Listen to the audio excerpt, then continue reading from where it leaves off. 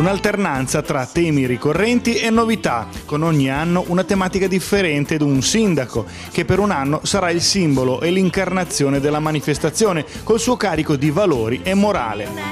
Tutto questo ogni anno prende vita con il Paese dei Balocchi, arrivato alla sua quindicesima edizione. Fermo restando la rappresentazione del mondo di Pinocchio con la tanto amata balena, la casetta di Mastro Geppetto e le figure incombenti del gatto e la volpe dei carabinieri, nella naturale collocazione di Piazza Bambini del Mondo, Quest'anno il tema portante della manifestazione sarà l'arte, l'arte non come elemento al di fuori di noi, ma come parte di noi, l'arte che ogni individuo porta in sé e che deve poter tirar fuori toccando tutti i vari aspetti del mondo artistico l'arte che può essere anche vissuta come riscatto sociale, come fonte di lavoro, come occasione per poter uscire dalle sabbie mobili della vita in cui alle volte ci si può trovare, come gli abitanti del Rione Sanità di Napoli.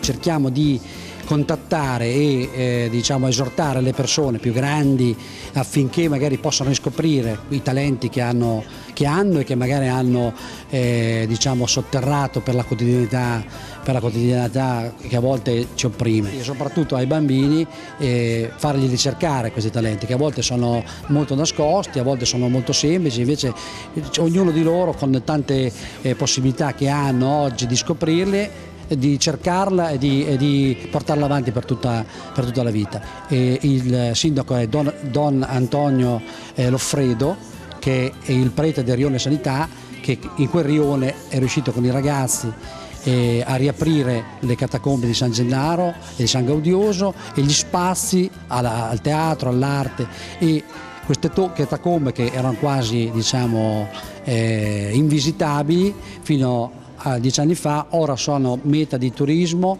e quindi questo ha dato lavoro a tante persone e, e, e anche una speranza nuova.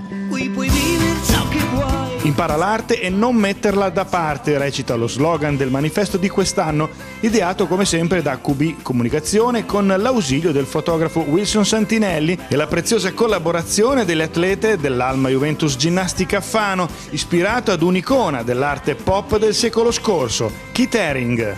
È bello ogni anno fare questa locandina perché comunque abbiamo stimoli ogni anno di fare qualcosa totalmente diverso dall'anno prima.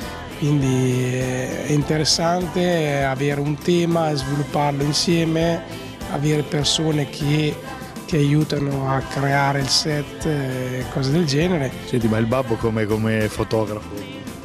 Mm. Esigente?